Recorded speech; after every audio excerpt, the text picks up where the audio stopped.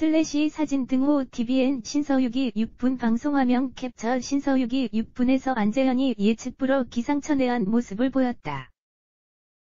11일 오후 방송된 케이블 채널 TVN 예능 프로그램 신서유기 6분에서는 안재현이 스스로 신미의 귀환을 알렸다. 이날 방송에서 멤버들은 삼겹살을 놓고 3, 3 좀비 게임을 진행됐다. 이날 방송에서 안재현은 도발을 감행했다. 그는 안대를 눈을 가리고 있는 은지원의 머리를 공격했다. 안재현은 용기를 얻고 안대로 눈을 가리고 있는 강호동과 피오의 머리를 연달아 때리며 도발했다. 안재현의 교란작전 덕에 좀비들은 서로를 물어뜯으며 웃음을 자아냈다.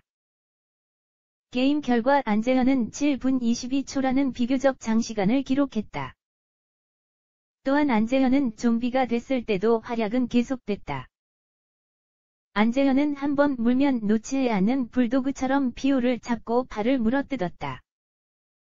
그는 신미 자신의 별명다운 모습을 보이며 웃음을 자아냈다. 그의 신미 모습은 기상 미션에도 여지없이 드러났다. 홋카이도 특산물 중 하나를 복불복으로 선택. 특산물을 숙소에 숨긴 후 밤새도록 지키는 특산물을 지켜라가 진행됐다.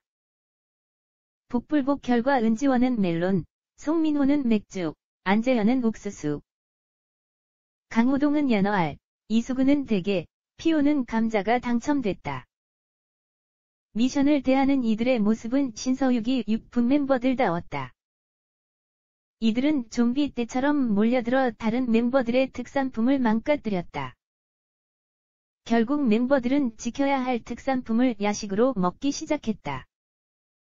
멤버들은 맥주를 마시고 멜론을 먹고 또한 대게와 옥수수 등을 쪄서 나눠 먹었다. 남은 것은 강호동의 연어 알과 피오의 감자였다.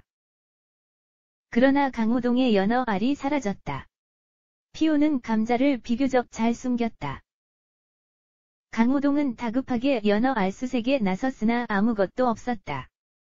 안재현은 모든 것을 알고 있었다. 안재현은 강호동의 연어 알을 훔쳐 강호동이 보는 앞에서 연어 알을 터뜨리며 강호동을 절망에 빠뜨렸다.